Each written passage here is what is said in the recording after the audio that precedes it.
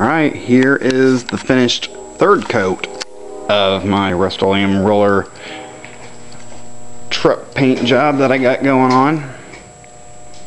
Paint's starting to look pretty nice.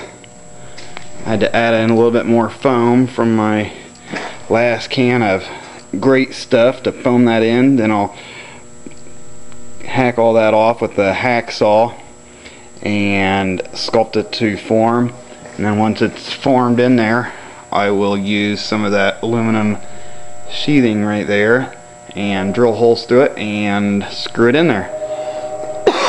So it'll have an aluminum finish to this area down here. So it won't look like that.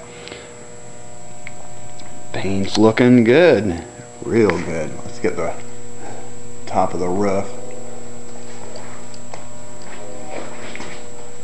if you've been watching my videos, you can you'll remember how bad off that top was. The top was rusted pretty bad, and now it's not looking not looking too shabby.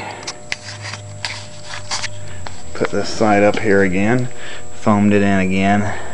Again, I'll have to trim it, and then do the same thing like I was doing on the other side. Put that uh, aluminum, aluminum sheathing on it.